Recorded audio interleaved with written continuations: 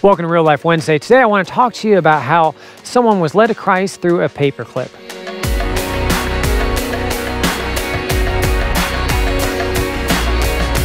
The Reverend Butch Huffman is a member of Greater Heights United Methodist Church, and uh, uh, he's a conference missionary. But uh, before he was a conference missionary, he was a pastor, a lead pastor of a church in Selma, North Carolina, serving Edgerton United Methodist. And while there, uh, he uh, met someone, or just barely knew someone, that was looking for a paperclip. And uh, he said, I have a paperclip, and gave this woman a paperclip. And, and when he gave it to her, he said, But I want you to give it back to me.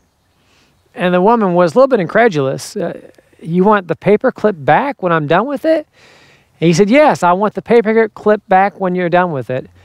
Well, okay, when I really need it. So when, what do I do? And he says, You can get back to me on a Sunday morning. Uh, I go uh, to Edgerton United Methodist Church, she said, he said, and uh, told her, I, I want you to uh, bring this paperclip back to me one Sunday. Um, so she did return the paperclip one Sunday, and that one Sunday she she fell in love with this church and fell in love with Christ. She ended up becoming a member of this church. And on Butch's last Sunday, she gave him a, a big jar full of paper clips in gratitude that she was given the opportunity to return a paper clip because that paper clip that, that, she, was, that she was loaned uh, led her to Christ. It says in Colossians 3 whatever we do, whatever we have, may it be for the glory of Christ. Um, may whatever you have, whether it's paper clips or whatever it is, May it be for Christ's glory. Amen. Amen.